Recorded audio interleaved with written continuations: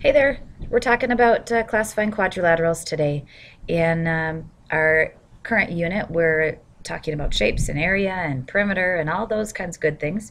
And uh, in order to get started, we really need to know what our different shapes are. And specifically today, we're talking about uh, quadrilaterals uh, here. So there's not going to be a whole lot of example problems for you to do or any today, but there's a lot for you to write down. So I expect you to go ahead and uh, pause whatever you need to to get things written down. So what is a quadrilateral? It's a two-dimensional, meaning it's flat. It doesn't have any uh, third dimension to it like a, a box. That would be called a prism. Here, a quadrilateral is just two dimensions and four-sided figure. That's the basic definition of a quadrilateral. Quad, if you remember from Greek and Latin, means four. Lateral means sided, so four-sided. Each two sides intersect exactly two other sides, one at each endpoint. There are no two sides that are part of the same line. So that just means we can't say this is a side and it connects right here and that's a side. This is all part of the same line. Uh, so this would not count as two different sides here.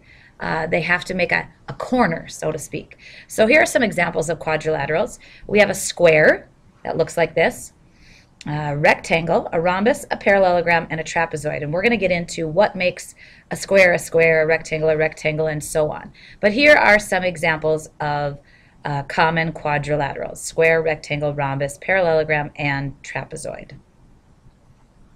All right, so what is a parallelogram? It is a quadrilateral, so four-sided, and two pairs of the sides are parallel sides. So this side, the opposite sides are parallel. This side is parallel with this one. This side is parallel with this one. And you can see these markings that are added here. You just have to find its pair. That This single arrow means it's parallel to the other single arrow. This one has a double arrow, so it's parallel to the other double arrow. Same with here. These two are parallel. These two are parallel. Uh, what does parallel mean for the record? Have we talked about what parallel means? Hopefully you remember parallel means two sides that are equidistant apart that are never going to touch. So like railroad tracks, they're never going to get any closer together or further apart. Otherwise that train will not go on them. So they're always going to be the same distance apart. Sometimes we have a parallelogram and they're kind of slanted. Uh, this side is parallel to this side. This top is parallel to this bottom. So essentially, it's a four-sided figure that has two pairs of parallel sides. That's what makes a parallelogram. Notice that sometimes it can be um, nice and straight corners like this, and sometimes they can be slanted. So what is a rectangle? Again, a rectangle actually is a parallelogram. It's a, a quadrilateral, four sides. But the only difference here is it's a parallelogram, so opposite sides are parallel. This side is parallel to this. This side is parallel to this. But here's your extra part that you need to pay attention to. A, a, rectangle also has four right angles. So this doesn't get to be a slanted one like we had before. This one is not a rectangle. It's a parallelogram, but not a rectangle. This one, because we've got these little corners, this designates that it's a right angle, which means it's 90 degrees. Um, that's what this little square means and then opposite sides are parallel. These two slashes mark up with those two slashes. So a rectangle is a quadrilateral. It's also a parallelogram. Opposite side lengths are equal or parallel. And it has four right angles.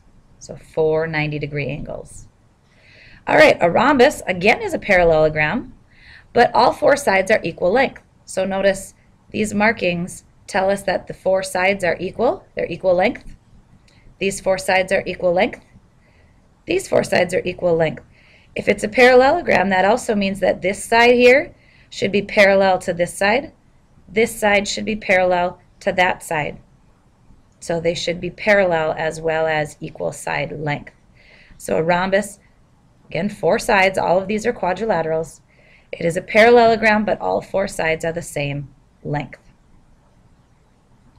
A square happens to be a quadrilateral. It's also a parallelogram. These are parallel. Opposite sides are parallel. It's also a, what was our last one?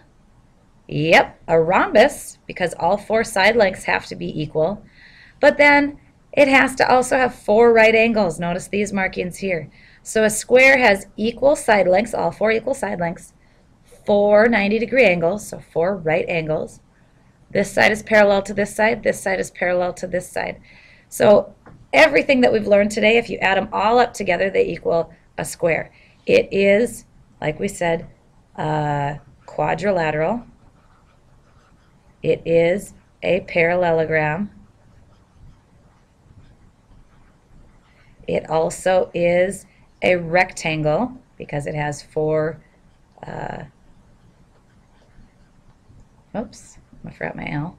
And it is also a rhombus. Now, it's kind of one of those things. A square can be a rhombus, but a rhombus isn't always a square, only when it has those four right angles. So you have to be careful in how you go about things. So here's ultimately how it went. Everything we talked about today was a quadrilateral. From there, we went to parallelograms. That's kind of the most common thing. Uh, it's just four sides and opposite sides are parallel. From a parallelogram, it can go to a rectangle, which means it's a parallelogram with four right angles, four 90 degree angles. Or if it doesn't have 90 degree angles, but all four sides are equal, it can be a rhombus. And only a square, it's only a square if it's absolutely all of these things all together, then it would also be considered a square. I know it gets a little confusing, but you need to know these properties of quadrilaterals. So I hope you have them all written down because part of your assignment tomorrow is going to be to classify uh, different shapes according to whether or not they're quadrilaterals, parallelograms, rectangles, rhombuses, or squares. Um, and we'll be having a little quiz on that as well. So with that, I'm going to leave you. Hopefully you have complete notes for tomorrow. If not, go back and um, pause it to make sure you have them written down. And I'll see you tomorrow.